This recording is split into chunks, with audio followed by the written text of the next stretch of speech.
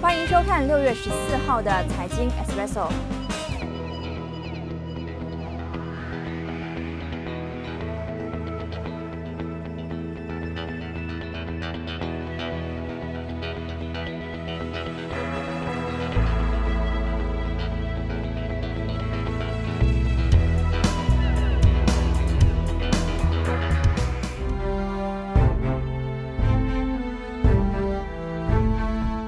晚上好，我是威敏。首先带你来关注股汇行情。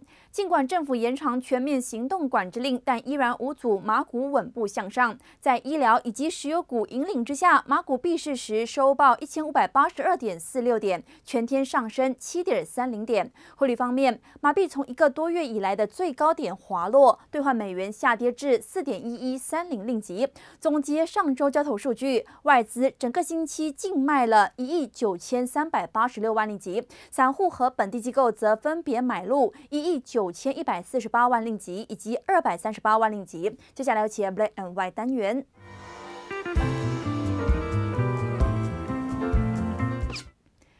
继花旗银行宣布退出大马消费金融市场之后，再有一家跨国银行集团在我国丢下震撼弹。大马汇丰银行宣布，旗下十三间分行将在今年十二月三十一号关闭，受影响客户受促自明年起到指定的分行接洽。而这些分行关闭之后，汇丰在大马依然有五十四家分行，并否认要退出大马市场，指大马依然是汇丰银行的优先市场，同时会继续在大。马展开人力、基建以及技术等等的投资。世霸动力审计疑云继续上演，在这当儿，联合创办人阿旺道却接连减持公司股份，引起市场揣测他抢先跳船。但他强调，纯粹是股市技术性逼仓，并非抛售股权，坦言对公司的前景依然充满信心。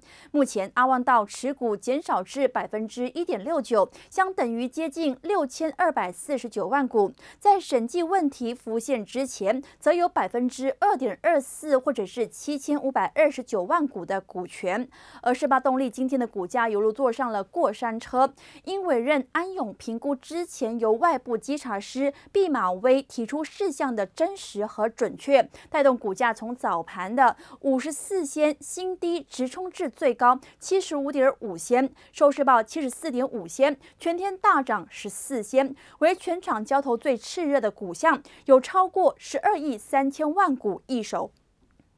最后来看。找工作的时候呢，你最在意什么呢？人力资源服务公司任仕达最新公布研究就显示了，有百分之七十二受访大马人把具吸引力的薪金和福利列为他们寻求理想雇主的员工价值主张。接着是工作和生活平衡，占了百分之六十九。再来依序是强大的管理层、不受冠病病毒威胁的工作环境，以及雇主拥有健全财务能力。另外报告也指出，受疫情因素的冲击，有百分之十七受访者已经转换了工作，有百分之二十三的受访者计划在今年内转换工作。今天的财经到此，感谢收看。喜欢我们内容就记得动动手订阅、点赞加分享。